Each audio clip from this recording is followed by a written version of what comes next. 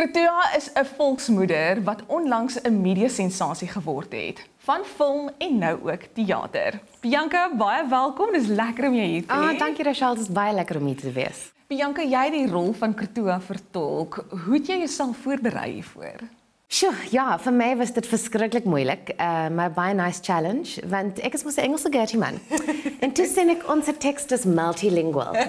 So ek met Engels, Afrikaans, uh Hollands en Nama praat. Uh maar dit was baie nice dis um om 'n bietjie meer gemaklik te kry met die teks en met die verskillende tale. So ja, dis nice. So mense wat nou nie regtig vir Kratua ken nie, wie is sy?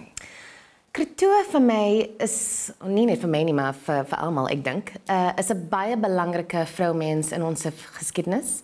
Sy was die eerste koi uh vroulike vertaler en sy het in die huis van Jan van Riebeeck gewoon. Um ja, sy het 'n baie belangrike rol gespeel tussen Jan van Riebeeck en die koi mense. And we don't know she was 11 years old when she went to live with them and ons weet nie if you know if he took her if he took her or if she went there if her family gave it to him. Uh ja, maar sy was verskriklik slim. Sy het vyf of ses verskillende tale gepraat. Um en sy was die negotiator tussen Jan van Riebeeck en die Khoi mense. Hoe het jy jouself vereenselwig met die rol? Uh it was interesting for me because all of the information that we have about Kratua has been written by men. Um so it's difficult to play somebody when you don't have their their version of the events. So you have to do a lot of filling in. Um, our writer Sylvia speaks about using multiple sources of, of knowledge. So you we can use the archives, but then you also have to kind of fill in the gaps with your your emosie and and in your in your and your own kind of thought process. So how would I feel if I was in with the facts that we have? How would how would I feel? Waaroor gaan hierdie teaterstuk?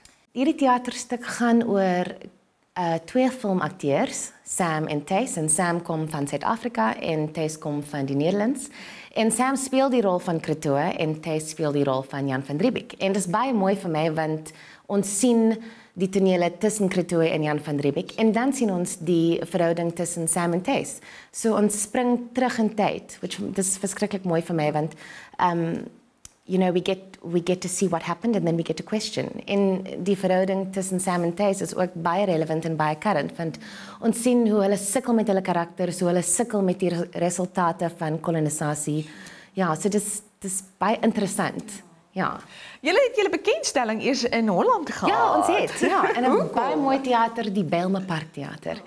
Uh 2 jaar gelede het die Volksoperahuis uh vir Basil Paulus gevra om 'n stuk oor Kretoe te doen. Um so dis 'n collaboration met die Volksoperahuis en Artscape. So they've planned this tour 2 years ago already. Wat is die lekkerste gedeelte vir jou om Kretoe te speel?